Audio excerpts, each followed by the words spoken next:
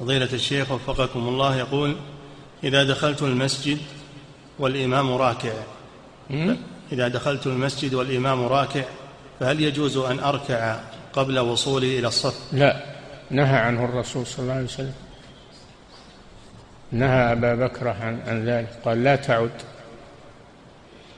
وقال امشوا وعليكم السكينة.